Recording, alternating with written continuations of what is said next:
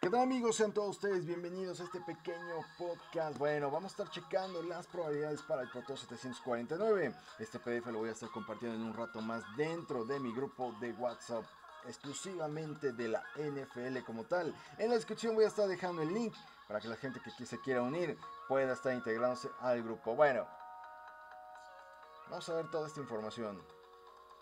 Vamos a irla analizando. Vamos a sacar acá el pincelín. Y vamos a empezar la dinámica. Ok, Potos contra Titanes. Partido de menos de 6 puntos. Lo estamos cargando a que lo ganen los Titanes. Recuerden que el día de ayer a través de mi canal del Dani Fútbol Americano sacaba yo lo que era el PDF de la semana número 13. Ya tomando parte de esa información. Así es como nos quedábamos, partido de menos 6 puntos. Es un partido divisional. Es cierto, los Potros se han venido mucho a la baja, pero van a estar peleando en este partido. Bastante interesante lo que ha pasado con los Titanes de Tennessee estas últimas semanas. Ryan Tannehill les ha caído como anillo al dedo. Un Ryan Tannehill que nadie lo quería absolutamente. Marcus Mariota era el coreback de los Titanes, era el coreback titular. Ahora ya no saben ni siquiera lo que van a poder hacer con él. Lo van a intentar cambiar por alguna selección de draft, pero también hay que voltear a ver qué su, qué su salario puede hacer. Puede hacer algún problema para algún equipo que lo quiera llegar a tomar. Una de esas está pensando que los Titanes lo quieran cortar por completo. Continuamos los Vengas frente a los Jets. Bueno, partido de más de 6 puntos a favor de los Jets. Sam en los últimas, los últimos tres partidos han estado ligando, han estado ligando victoria a los Jets. Pero se vio bastante, bastante bien este Sandorna frente a los Reyes de Oakland, que no se habían visto tan mal. Frente a los Bengals, frente al peor equipo de la NFL, los Jets tendrían que estar ganando por más de 6 puntos. Los Cuervos contra los 49, todos queremos ver este partido, señores. Partido de más de 6 puntos a favor de los Cuervos de Baltimore. Muchos sitios de apuestas están tirando a este resultado. Partido de más de 6 puntos a favor de los Cuervos. Hay un dato muy interesante. Es cierto que los 49 en este momento es la mejor, la defensa número uno. Es la defensa número uno. Realmente los 49 de San Francisco no hay quien pueda, no hay quien les pueda negar que son la mejor defensiva en toda la NFL. ¿Cuál es el gran problema? El partido que dieron, el partido que dieron, los dos partidos que dieron frente a los Cardenales de Arizona. Los Cardenales de Arizona le hicieron muchísimo daño con un esquema ofensivo muy parecido al de los Cuervos de Baltimore, pero no ni siquiera está tan pulido como el que tiene ahorita Baltimore con Lamar Jackson son una planadora en este momento estos cuervos de Baltimore. Pensar que puedan llegar a ganar en su casa por más de 6 puntos no es nada descabellado. También su defensiva ha estado jugando bastante, bastante bien. Y eso le puede hacer también bastante daño a estos 49. Donde si los cuervos se ponen rápidamente en el marcador, arriba del marcador, sí se vería bastante complicado que Jimmy Garoppolo lo pueda terminar estar, lo pueda terminar estar sacando este partido. Entonces, yo veo un partido de más de 6 puntos como varios sitios de apuestas. Vamos a continuar. Vamos a agarrar los siguientes. Tenemos a los Jaguares contra los Bucaneros, partido de menos de 6 puntos, pero yo creo que muchos de ustedes, muchos de ustedes van a estar cargando que los Bucaneros ganan este partido por más de 6. Pésima demostración, pésima demostración lo que, lo que ha hecho los Jaguares con Need, con Falls, pero también a la defensiva. Los últimos tres partidos les han metido 700 yardas por tierra. Entonces, la defensiva de los Jaguares se ha visto bastante, bastante mal cuando se suponía que ese era el punto fuerte de este equipo. 700 yardas por tierra en tres partidos es demasiado, es algo exagerado. Continuamos los aceros contra los Cafés de Cleveland. Partido de medio 6 puntos, partido divisional. Va a estar jugando el tercer coreback por parte de los aceros de Pittsburgh y por parte de los Cafés de Cleveland. Muchísima, yo creo que mucha gente también lo está tirando porque gane por más de 6 puntos. Aunque, como lo veo como un partido divisional, yo creo que se queda, se queda por menos de 6 puntos. Los héroes de Pittsburgh tienen una muy buena defensa. Tienen una muy buena defensa. Que los va a tener dentro del partido. Entonces, partido de menos 6 puntos yo creo que es tirarle más a lo seguro.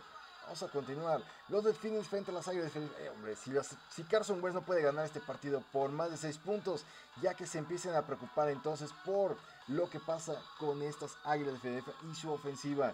Yo creo que están ahorita preocupados. Están ahorita pensando si fue correcto dejar a Nick Foles porque con Carson Wentz esta campaña no se han visto del todo seguros. No se han visto del todo seguros.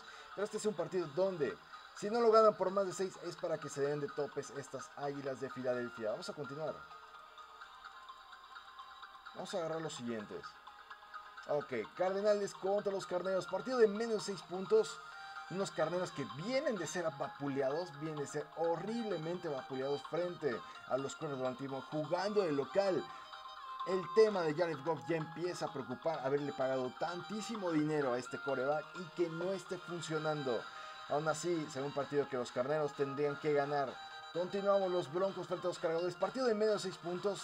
Totalmente de acuerdo. Pero lo están cargando que los cargadores lo van a ganar este partido. Yo tengo la duda.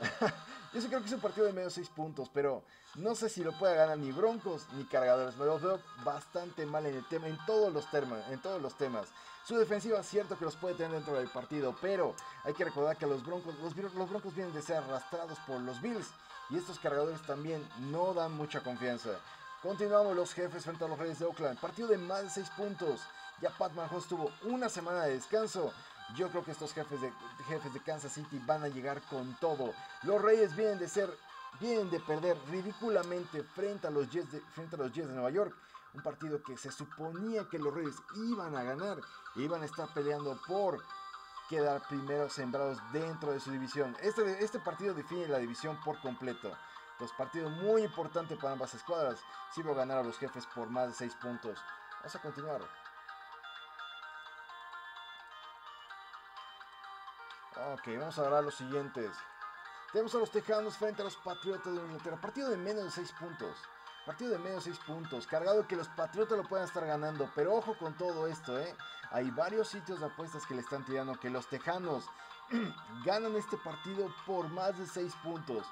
Entonces, chequense algunos sitios de apuestas. Le están tirando fuertemente que Tejanos le va a pegar a los Patriotas. Yo creo que el tema con los Tejanos es que la para mí la defensiva de los Patriotas va a tener, los va a tener en el partido. Le va a hacer muchísimo daño a los Tejanos. Y creo que la diferencia va a estar en el ataque terrestre. Es cierto que los Patriotas no lo han podido establecer. Pero en este momento los frontales de los Tejanos no han podido deparar del todo bien el ataque terrestre. Entonces, eso es algo que tendrá que explotar en Inglaterra para poder ganar este partido. Los halcones marinos frente a los vikingos de Minnesota. Partido de mucha gente le está cargando, partido de menos de 6 puntos. Pero recuerden algo, los halcones marinos en su casa en estos meses por lo regular son intratables. Es cierto, se van a enfrentar dos muy buenas, dos muy buenos ataques. El uno de los mejores ataques terrestres por parte de los vikingos de Minnesota. Yo creo que mucha gente le va a estar tirando más porque lo ganan los halcones marinos por más de 6 puntos. Estos vikingos de Minnesota, de momento, de momento, de momento te dan muchas, muchas, muchas bajas en su juego. Hay que recordar lo que pasa frente a los Broncos de Denver. Sacan ese partido, sí. Pero hombre, yo creo que si los halcones marinos hacen un partido muy similar, pueden terminar ganando a estos vikingos de Minnesota por más de 6 puntos. Aún así lo están cargando acá por menos de 6 puntos. Continuamos. UCLA contra California. Partido de menos de 6 puntos. Partido de menos de 6 puntos. Le están tirando que California lo pueda estar sacando. Pero sí lo ven como un partido de menos de 6 puntos. Continuamos. San José contra Fresno. Bueno, partido de menos de 6 puntos. Este partido consideran que ambas escuadras van a estar metiendo más de 30 puntos entre cada una de ellas. Perdón, cada una de ellas va a estar metiendo más de 30 puntos. Pero lo están cargando ligeramente que Fresno pueda estar ganando este partido todas maneras, ambos son partidos de menos de 6 puntos. Entonces, estas son nuestras conclusiones, nuestro análisis de lo que es la quiniela de Protoss. 700, ¿qué es? 48, 49, 749. Ya estamos dejando este PDF en la descripción para que todos ustedes lo puedan estar descargando, lo puedan estar analizando con toda la calma del mundo y hacer todas las anotaciones que crean, que crean son las que crean pueden ser las mejores para cada uno de estos partidos. De todas maneras, acá está nuestra idea para el Protos. Cuídense mucho, tengan excelente día. hasta luego.